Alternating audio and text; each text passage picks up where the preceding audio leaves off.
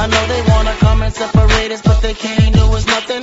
You're the one I want, and I'ma continue loving. Cause you're considered wifey, and I'm considered husband. And I'ma always do that for you. Either way you look at it, I ain't going nowhere for my muffin. And she gon' hold